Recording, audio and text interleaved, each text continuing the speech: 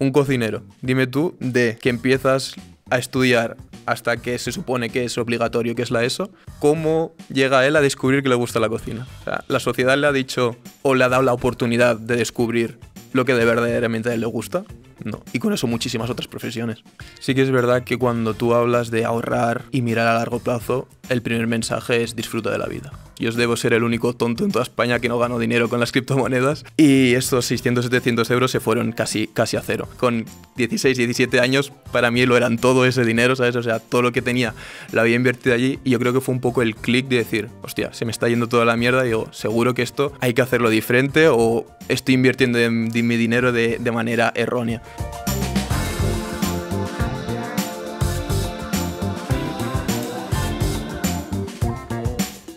Hola limones, ¿cómo estáis? Un día más aquí en el limonero. Muchísimas gracias por estar ahí y hoy vamos a hablar de temas que yo creo que os pueden interesar a todos, aunque algunas cosas pueden tener dos versiones, como siempre, ¿no? Eh, las, las de los que lo apoyan y las que no. Pero bueno, vamos a hablar de ahorros, de hábitos y de futuro. Y nos acompaña Javier Riquelme, que yo te definiría como apasionado, joven, pues se ve que eres joven, eh, es ingeniero, eh, youtuber y un curioso de las finanzas.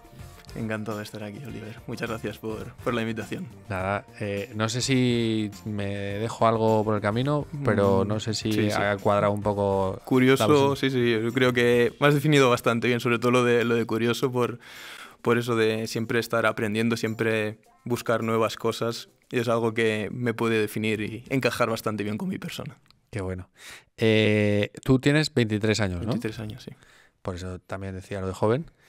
Y, lo que te quería preguntar como punto de partida, que es un poco eh, pues lo que haces en tu canal y, por lo que creo que te estás eh, enfocando un poco, es las, finanzas, ¿no?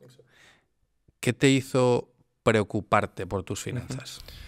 Pues yo empecé a trabajar pues bien jovencito, los primeros trabajos típicos de verano, 16, 17 años, era eh, monitor de baloncesto, entrenador de baloncesto, y pues, empezaste a ganar los, los, primeros sueldos y aquí la verdad que no me preocupaba mucho el dinero, simplemente pues ganabas para gastar el fin de semana o si querías hacer algún viaje con amigos.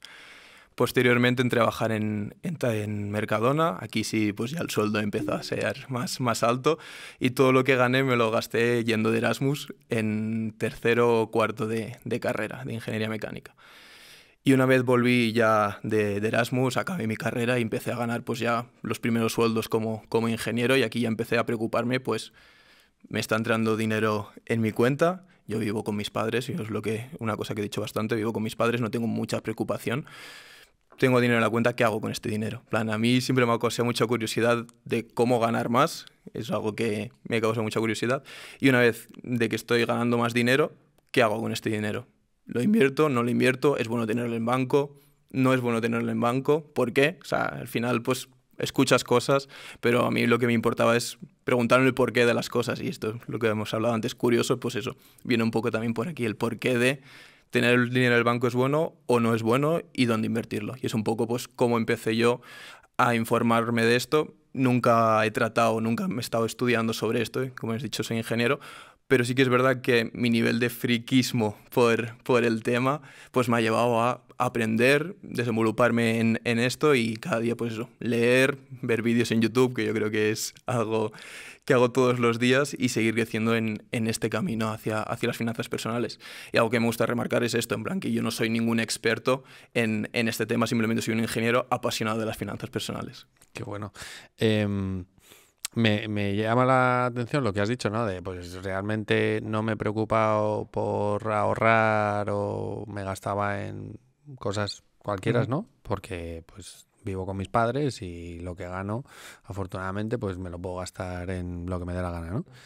Pero que no te hayas preocupado hasta que tienes como tu trabajo de, vamos a llamar de verdad, todos son de verdad, pero el de he estudiado esta carrera, tengo este trabajo, ¿no? Eh, ¿Tú cómo eras de, aunque eres un chaval eh, de 23 años, ¿cómo eras de chavalín, ¿sabes? De eh, en con, no sé, te daban la paga, el típico eh, en Navidad que te da tu abuela, tu tío, tal. Em, ¿cómo, has eh, sido tú en esta etapa? Ya digo, yo, mis padres me han ayudado siempre, pero no es eso que Mm, me daban dinero para todo, ¿sabes? No me daban dinero para comprarme cualquier capricho o hacer cualquier cosa. Si quería algo, me lo tenía que trabajar.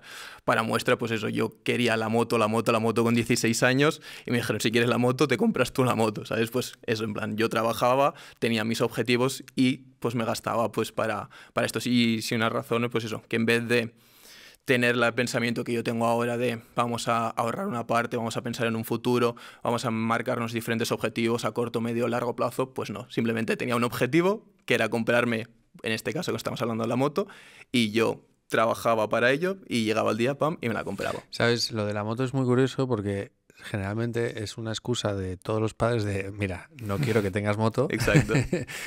y como, y, como que te, te retan a, eh, como no lo va a hacer, pues así no se la compra, ¿no? Pues es un poco por ahí. Mi madre no le gustan nada las motos y, era un poco la excusa de yo no creo que el niño consiga el día de mañana, pero soy bastante cabezón, otra cosa que podríamos incluir en la presentación. Y, y yo quería mi moto y pues eso, poco a poco construyéndolo para, para llegar a, a comprármela. O sea que sí que es verdad que tenías algunos objetivos, ¿no?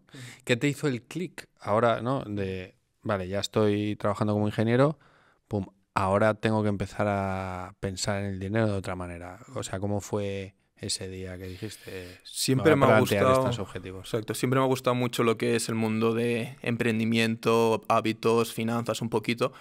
Pero empecé un poco también con el boom típico de las criptomonedas y fue aquí yo creo que un poco el impasse de un loco de pues todo lo que suena, todos los vídeos que ven, o el ahora el hype de las criptomonedas, pues vamos a meter todo nuestro dinero allí.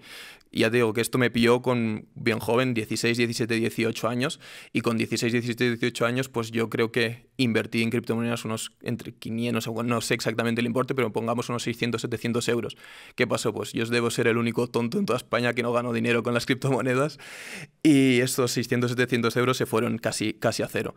Y yo creo que pegarme esa hostia de realidad con 16 años, que a día de hoy, bueno, pues 500, 600 euros podría soportar, pero eh, con 16, 17 años, para mí lo eran todo ese dinero, ¿sabes? O sea, todo lo que tenía lo había invertido allí y yo creo que fue un poco el clic de decir, hostia, se me está yendo toda la mierda y digo, seguro que esto hay que hacerlo diferente o estoy invirtiendo mi dinero de, de manera errónea.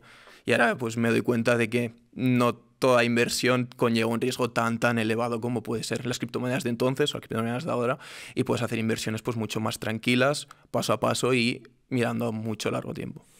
¿Y qué ha cambiado? O sea, cuando hiciste esa inversión ¿no? en, en cripto y dijiste, voy a meter esto, ¿cuánto investigaste? ¿Cuándo te paraste a pensar? ¿O escuchabas a un colega o viste a un gurú que dijo, oye, tienes que hacerlo de esta manera? yo creo que pues eso, la edad llevada, pues eso, de 16 años, todo lo que escuchas, no te quieres perder la última moda, tu amigo está invirtiendo en, ha ganado 50, 100 euros y dices, yo no me lo quiero perder, ¿sabes? O sea, yo quiero subirme a esa ola, quiero subir y poder llegar, pues eso, si ha ganado 50 metiendo 100, pues yo tengo 200, tengo 300, ¿por qué no los voy a meter? Y gano pues 50 por 3.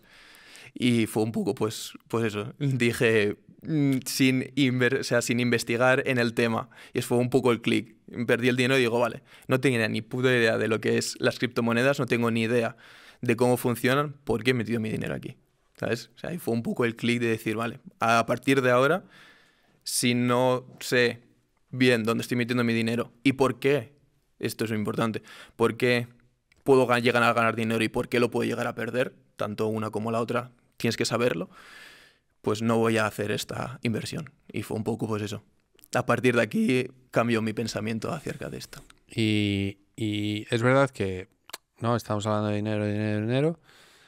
A mí me da la sensación que, en la sociedad, sobre todo en, en, España, hay como una, una relación extraña, vamos a ponerlo así de manera entrecomillada, con el dinero, ¿no? ¿Por qué crees que el, hay gente, existe esa relación extraña con el dinero. Pues yo creo que es un tabú totalmente y nosotros, nuestros primeros vídeos que se empezaron a pegar y a coger más reproducciones fueron los que hablábamos abiertamente de dinero. En plan, nosotros nos sentamos delante de la cámara y dijimos, vale, pues a mí la cosa de hablar de dinero me parece lo más normal del mundo. Es más, como por ejemplo, posiciones de, dentro de una empresa. Si yo quiero llegar donde estás tú, uno de los puntos importantes es cuándo cobras y qué, eh, qué tienes que hacer para llegar hasta aquí, ¿sabes? Entonces, pues por no hablar abiertamente de dinero, ya te digo. Y una de las principales cosas que nosotros empezamos a hacer en el canal era hablar abiertamente de dinero. ¿Cuánto cobro? ¿Cuánto gasto? ¿En qué me lo gasto? ¿Qué parte de estas van a ocio? ¿Qué parte de estas van a inversión?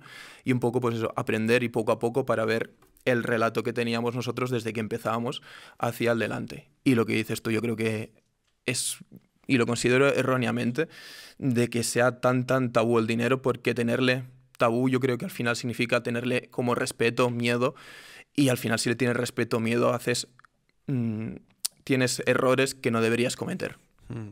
Hay mucha gente que dice, no, de dinero no hables, tal, ¿no? Y, es gracioso como, por ejemplo, Broncano en la Resistencia ha logrado, em, bueno, ha logrado, se lanza y le dice, ¿cuánto ganas? ¿Sabes? O sea, ¿cuánto tienes en el banco? Pero, pero a mí me gusta mucho ver las reacciones de la gente. Hay gente que es, no, esto no te lo digo, no, esto es privado, esto... Y, como que, la gente se ofende o que se eh, le genera un poco de mm, no orgullo, ¿no?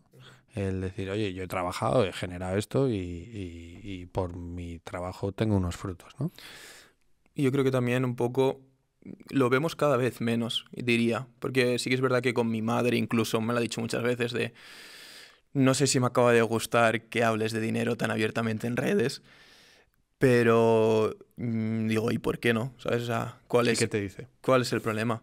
Pues eso, en plan, que, que a lo mejor le causa o miedo o inseguridades o por qué tienes que, qué tiene que saber tú lo que ganas y por qué no. ¿Sabes? Si alguien que me está viendo, es más, mucha gente me abre y dice, hostia, como ingeniero, este es tu primer sueldo, como ingeniero, ¿cómo puedo llegar a cobrar lo que estás cobrando tú? Pues inspirar a toda esa gente a que llegue a donde estoy yo simplemente contándoles abiertamente lo que hago, y ya no dinero, sino simplemente pues en mi posición en la que estoy actualmente, ¿sabes? Es un, es un más, o sea, no, no veo la diferencia entre estoy en ingeniería o estoy trabajando aquí cobrando tanto.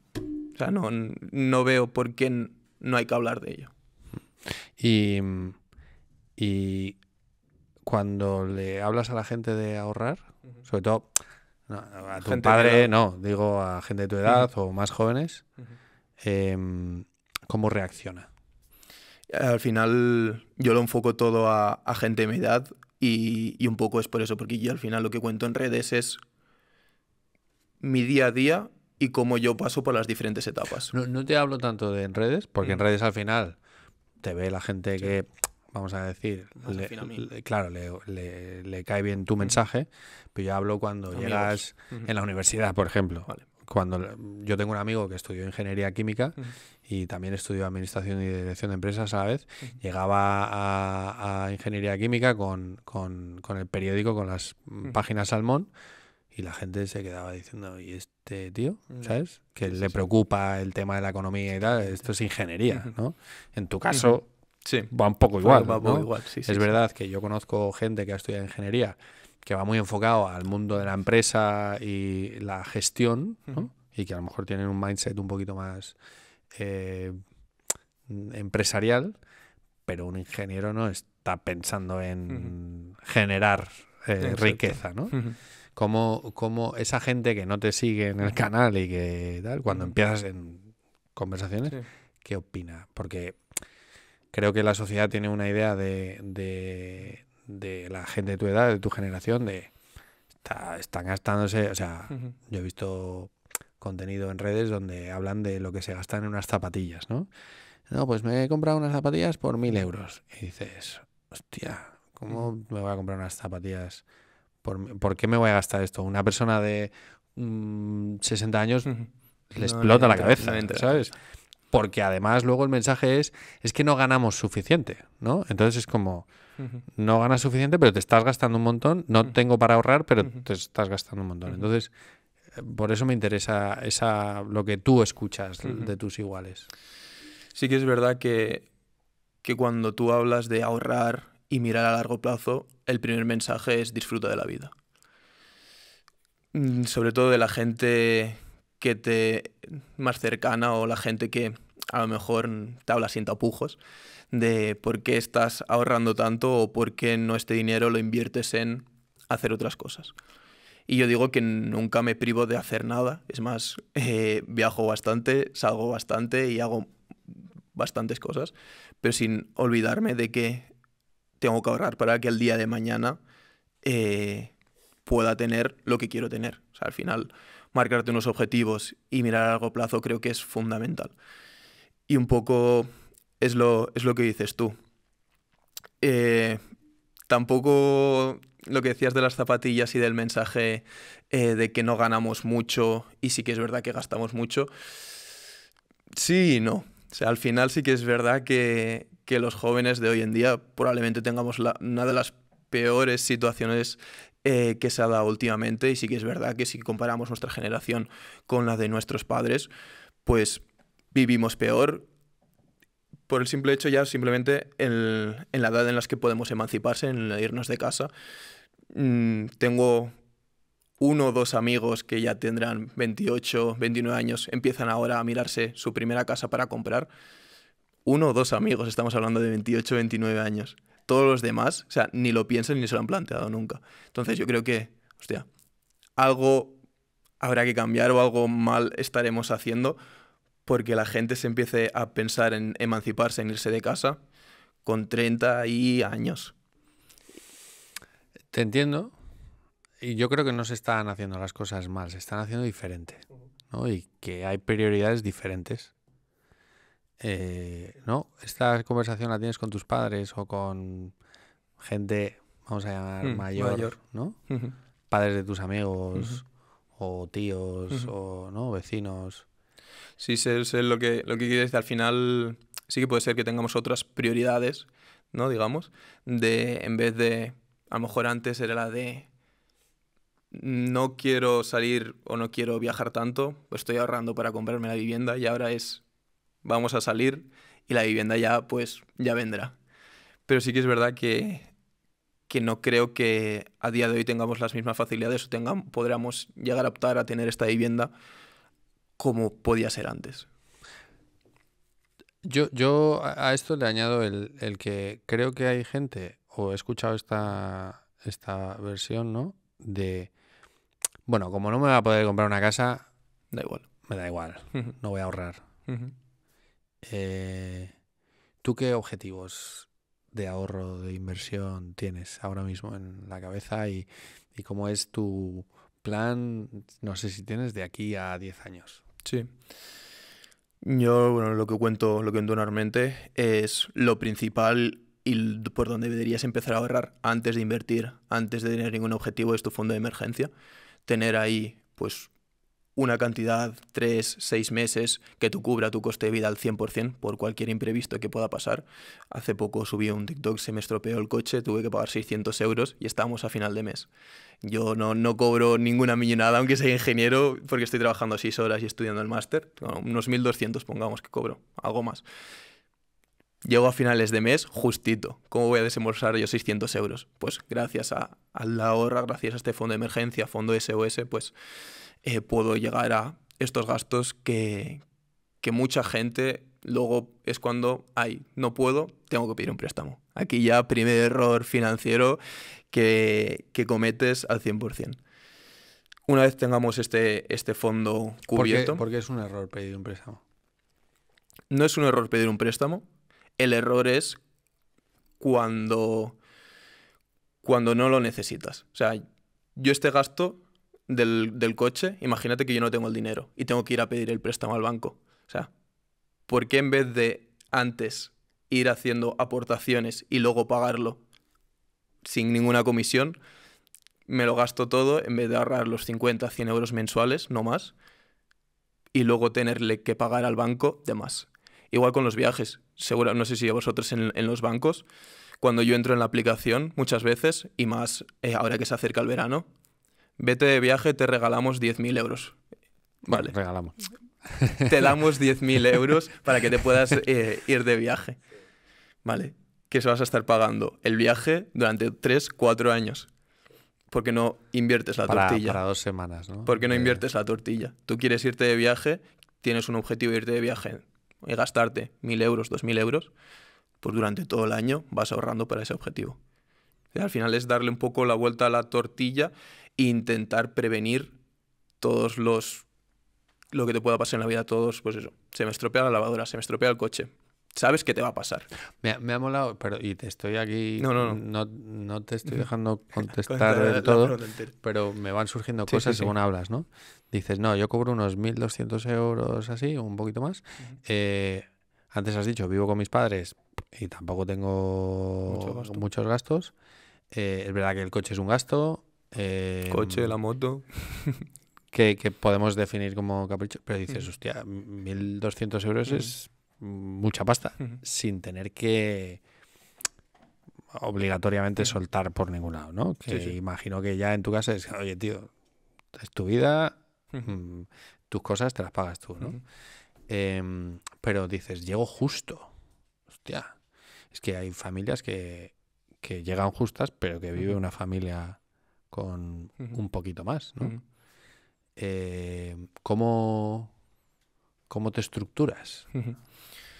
Claro, o sea, llego justo, obviamente, porque mi, mentalidad y mi capacidad de ahorro es muy grande y yo quiero ahorrar esto. Obviamente podría ahorrar menos y que es lo que sería lo óptimo para lo que estamos comentando, una familia, pero yo a día de hoy no lo necesito.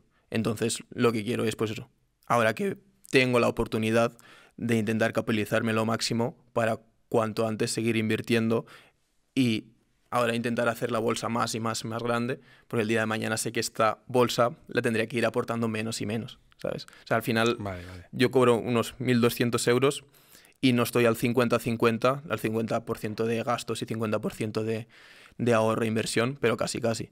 Entonces, pues si me dan la oportunidad mis padres, es de que, y también lo digo, en plan, que esto es mi caso y es mi oportunidad. Pero sí que es verdad que hay muchas familias que no pueden, incluso yo hay meses que mi madre me dice, oye, pues ayúdame en esto, ningún problema, pues ese mes pues en vez de ahorrar 50, pues ahorraré 30. O sea, pero sí que es verdad que siempre hay que tener ese 30, ese 20% ahí y lo que yo digo muchas veces, págate a ti primero. Porque si no te pagas a ti primero, llegará a final de mes y dirás, bueno, pues me quedan 50 euros, me da igual, me voy a comer y al principio de meses pues ves los 1.200 euros y tú ya has hecho el presupuesto antes y dices, vale, pues estos 1.200 euros tengo que ahorrar 200, 300. Es, eso, o sea, el ahorrar 200, 300 es el págame, págate. Págate primero. Y lo hago yo todo, totalmente automatizado, que esta es otra de las cosas que insisto bastante. Porque entrar en la cuenta y hacer una transferencia a lo mejor de 100, 200 euros, pica a veces. dices, hostia. Pero si lo haces todo automatizado, yo entro en la cuenta el día 2 de cada mes y ya sé lo que me tengo que gastar. O sea, yo más de ahí no me puedo gastar porque más de ahí mm, es que no tengo. O sea, obviamente tendría que entrar en las otras cuentas y volverme a pasar el dinero a la cuenta de gasto. Te voy, a hacer una pregunta a lo broncano. ¿Cuánto tienes ahorrado en la cuenta? En la cuenta de, de, ahorro, la que no tocas. El de, me pago a mí primero. Sí, sí. Tengo. Claro, es que tenemos el fondo de, emergencia, que ahí tengo pues los tres, seis meses que estábamos comentando. Pongamos que unos mil euros al mes gasto, pues entre tres y seis meses. Pues lo voy llenando y una vez está lleno lo dejo ahí. Y luego la, el fondo indexado, que es donde, donde estoy ahorrando. Tengo un vídeo hace, hace poco que, que, salió, que llevo ya un año aportando 150, 200 euros y tendré unos 6.000, 7.000 euros y eso es lo que eh, mi fondo de, de mi fondo de emergencia lo tengo ahí y el fondo indexado es lo que voy yo aportando cada mes ah, para... O sea, no lo tienes ahí parado en el banco. No, no, no. Lo tengo en, otra parte. Incluso el fondo de emergencia tampoco lo tengo parado en el banco. Lo tengo una, en un fondo remunerado. Y, volviendo a la pregunta que te he lanzado y que no te he dejado contestar, eh, ¿qué plan tienes tú de aquí a 10 años? O sea, ¿Para qué estás haciendo todo esto? Diversos objetivos al final y, no me gusta ir por un objetivo, cumplirlo y luego ir a otro, sino los voy empujando todos hacia adelante poco a poco. El fondo que estamos comentando, fondo indexado, pues es para simplemente mi jubilación. O sea, yo ya estoy pensando en mi jubilación. Discrepo mucho que tengamos jubilación los jóvenes. Entonces, pues es algo que sí o sí insisto mucho a la gente que tengo alrededor que me da igual que hagas fondos indexados, me da igual que lo inviertas a fondo fijo de letras del tesoro, pero haz algo. O sea, o vete ahorrando porque como está la situación a día de hoy, no creo que tengamos eh, pensión los jóvenes. Y eso es pues una parte va hacia allí. Luego otra parte, objetivos. Me quiero independizar. O sea, Entonces, pues otra parte... ¿A qué edad te quieres independizar? no lo sé, porque también es un poco de... No sé qué pasará conmigo el día de mañana si me quiero quedar en España, si quiero ir a trabajar fuera de España. Entonces, pues es un poco de ir haciendo hucha, por si acaso, si ya sea alquiler, comprarme una casa, voy haciendo una hucha que, que ahí está. Y luego otra gran parte que yo, para mí es una inversión total, es en mi proyecto. mi proyecto ya sea marca personal o en mi proyecto, pues diferentes proyectos que, que tengo en la cabeza que van surgiendo y, y, no quiero perder la oportunidad de una gran cantidad va, va hacia allí también. ¿Y la gente de tu edad está en ese mismo en ese mismo planteamiento de objetivos? Mm, normalmente no. O sea, normalmente no, porque muchos amigos, Javi, estoy ganando dinero, sé y he escuchado que tener en el banco es malo, inflación, ¿qué es la inflación? pero no sé qué hacer con él. ¿Dónde lo meto? ¿Por qué lo meto aquí y no en otro lado? Y, mucha gente no tiene ni idea de finanzas personales muy básicas, que yo creo que es algo que sí o sí deberían enseñar, deberían enseñar en la escuela. Sí o sí. O sea, por el simple hecho de eso. O sea, ¿qué es un préstamo? ¿Qué es el TIN? ¿Qué es la DAE? Son cosas que sí o sí te van... O sea, sí o sí vas a pedir una hipoteca. O sí o sí te vas a independizar algún día. O sí o sí vas a recibir una nómina. Porque yo genero 1.800 euros y me llegan 1.200 a mi banco. ¿Qué ha pasado con lo demás? Y ya no digo que esté bien o mal, simplemente saber, saberlo. O sea, no, no te estoy diciendo que me tienen que quitar más o me tienen que quitar menos. Simplemente, pues, ¿por qué? O sea, y luego el desglose de todo esto. ¿Por qué 200 van aquí, 300 van allí, 400 van allí? Y luego toda la parte que no se ve nuestra. Tú estás generando 1.200 euros, pero hay una gran parte que ya está pagando la empresa por ti que tú ni siquiera ves. O sea, tú al final a la empresa le estás generando 3.000 euros y tú recibes 1.500. Vale, a mí me parece bien, pero explícame el por qué. ¿Y, ¿Y cómo lo has aprendido tú, todas estas cosas? Friquismo.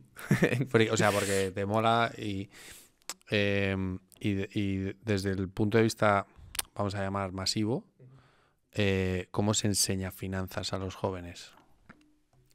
Yo empezaría por lo más básico. Me entran tanto, salen tanto. Pero hay, hay un... ¿Está dentro del sistema educativo? O... No, o sea, no, no, no. O sea, yo lo implementaría en el sistema educativo, no, no, obviamente no está. Y todo lo que he aprendido es for fun, leyendo, aprendiendo por mi cuenta, mirando diferentes eh, gente que, que sabe del tema y ha estudiado años de esto, pues me gusta y quiero aprender de ello. Y lo que te digo, en plan, todo este dinero, luego, ¿qué, qué, qué haces con él, sabes? Y entiendo también la otra parte, y mucha gente me, me, habla y me dice, o sea, yo al final tengo un Excel donde cuento todos mis ingresos, mis gastos, donde va mi dinero, y me gusta esto. Pero hay mucha gente que no le gusta. Pues para esa gente, pues porque no unos tips básicos de qué hacer con su dinero. Y, o sea, eso, eso ah, yo también estoy de acuerdo, ¿no? En, en, oye, el dinero es algo que nos que, está dentro de la sociedad y que nos habilita, es una herramienta, ¿no? Eh, al igual que las leyes, eh, la salud, em, y que vamos a necesitar todo el proceso. Entonces, sí que creo que es interesante que se le forme a las personas en cosas que van a necesitar para su vida, ¿no? Siempre está lo de, oye, mm, la raíz cuadrada no me sirve en mi día a día. pero saber lo que aplica para una hipoteca sí me sirve. Volvemos a lo mejor a que la gente cada vez está más desmotivada de no, no voy a poder comprarme una casa, entonces no voy a pedir una hipoteca, entonces me da igual. Eh, a mí me pasó con el carnet de conducir. Yo me lo saqué tarde. Porque cuando cumplí 18 años, que es algo que mm, yo creo que cualquier mm, persona de 18 años está, está deseando, me voy a comprar un coche, o sea, me voy a sacar el carnet de conducir, y dije, como no voy a tener coche, me da igual. Eh, y luego me di cuenta que, ostras, si me lo hubiese sacado antes, eh, hubiese tenido otras oportunidades laborales que implicaban el tener el carnet y mm. podía haberme desarrollado de, una manera diferente. Entonces, todo afecta, ¿no? Y entonces, si tú empiezas a preocuparte por las finanzas antes, pues vas a estar en una mejor posición, ¿no? Y cuando mm. llegues a los 30 años, y veas a gente de 30 años a tu lado y tú tengas una capacidad y ellos tengan otra capacidad, me a decir, oye, ¿por qué? Si vamos a decir... Cobramos lo mismo. Bueno, otras personas que cobran lo mismo. Correcto, ganamos lo mismo y este tío, hostia, gestiona O sea, le da para todo y a mí no me da para nada. El interés compuesto para lo bueno y para lo malo. Eh, ¿Qué consejos le, podrías dar a, los jóvenes y a sus padres también de cómo te puedes empezar a preocupar o a interesar, no preocupar, interesar por las finanzas y el mundo financiero? Tan fácil como darte cuenta y tener un, un Excel de ingresos y de gastos. O sea, yo al final es una de las primeras cosas que hice y recomiendo que haga todo el mundo. Sé que da pereza, pero no hay que invertirle un tiempo exagerado. Y a lo mejor media horita al mes, media horita al mes. Inténtalo y luego ya te saldrá solo. Crea ese hábito de media hora al mes de, de entrar en tu cuenta del banco, aunque te duela verla. A mí también me pasa. Está en negativo. Exacto. Y, y apunta todo lo que gastas. Y entonces ahí te darás cuenta de dónde se te va de verdad el dinero. Plan, pues estoy gastando 200 euros al mes en restaurantes. Creo que este gasto se puede reducir, lo debo reducir. Sí, no, y aquí ya analizas. Si al final es tan fácil como mirarlo, mirar dónde quiero hacer estos gastos y luego pues intentar ajustar el máximo presupuesto a, a lo que tú a la que tú quieras o sea, me parece guay este ejercicio de conciencia que, dices, porque es verdad que cuando lo ves, ¿no? Dices, ostras. Y no es lo mismo verlo en el banco, porque muchas veces, no, si yo entro en el banco y veo lo que me gasto, no es lo mismo. No es lo mismo tenerlo en la pantalla y a final de mes sentarte tranquilamente y que te lo pongan todo y decirle, hostia, me he gastado 300 euros en restaurantes o 300 euros en salir de fiesta. En decir, bueno, pues 40 euros he salido de fiesta y me he ido a cenar. Vale, no es lo mismo. Efectivamente, que lo ves así en pequeñito, cuando lo ves en macro y dices, ostras. Y ya no te cuento cuando lo ves anualmente. Bueno, sí. Que ya a mí me ha pasado, ¿eh? Eso, hostia, me he dejado 5.000 euros en tal, tal, ¿no? En el cómputo. Eh, esto, esto se lo aplico yo eh, a la gente que, por ejemplo, habla de. Bueno, que, que fuma. ¿Cuánto fumas, no? No, me gasto 6, 7, no sé lo que cuesta una cajetilla. A la semana. Eh, no, al día. Ah, Me fumo una cajetilla al día, multiplicas, dices, vamos a poner 5 euros por 30 días, 150 euros. Hostia, joder, en esto, ¿no? Es como si te encantasen las galletas y te gastases 150 euros al mes en galletas. Sí, sí. Creo que esas cosas, esa conciencia es muy importante. Eh, ¿Tú crees que la gente de tu edad quiere tener esa conciencia? Buena pregunta. Eh, sinceramente, creo que no, por el simple hecho de que es tan fácil como, ya no te digo un Excel, coger una libreta y apuntar cuatro números. Y muchas veces, y, conozco gente de que incluso le da miedo entrar en su cuenta del banco. Le tienen rechazo a lo que, lo que me he gastado y no quieren darse cuenta de, todo esto. Y creo que es grave, la verdad. O sea, al final lo que estamos comentando. O sea, el dinero es una herramienta más de la partida. Para lo bueno y para lo malo. Pero es una herramienta más y ¿por qué no? Úsala a tu favor, que tampoco es tan complicado. No te estoy diciendo que te estudies día tras día dónde invertir tu dinero, sino simplemente tener conciencia de dónde estás dejando tu dinero. O sea, vale, tú generas 1.200 euros al mes, ¿vale? ¿Dónde se te van estos 1.200 euros al mes? Porque llegas a la semana 3 y ya no te queda nada. Y hay mucha gente que no lo sabe. Muchísima. Y, me doy cuenta, pues eso. Y más ahora cuando he entrado en este mundillo, que gente de mi alrededor me lo dice.